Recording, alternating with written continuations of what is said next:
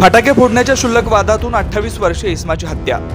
नाशिकच्या पाथर्डीगाव परिसरातील स्वराज्यनगर येथे चौदा नोव्हेंबर पाडव्याच्या दिवशी रात्री साडे अकरा वाजताच्या सुमारास फटाके फोडण्याच्या झालेल्या शुल्लक वादातून अठ्ठावीस वर्षे युवक गौरव तुकाराम आखाडे याची हत्या करण्यात आली. या घटनेमुळे परिसरात एकच खळबळ उडाली.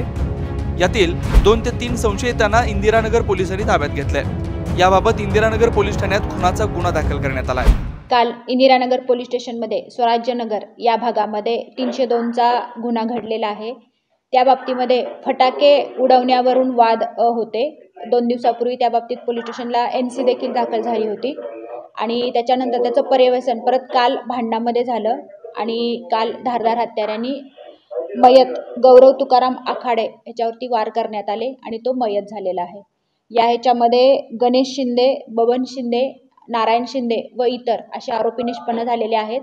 त्यातले काही आरोपी ताब्यात आहेत आणि पुढचा तपास इंदिरानगर पोलीस स्टेशन मार्फत सुरू आहे.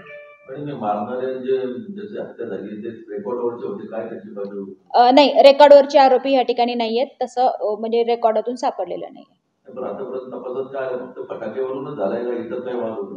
फक्त फटाक्यांवरून त्यांचे वाद झाले होते असं तपासामध्ये पुढे आलेलं आहे. लोकनायक न्यूज.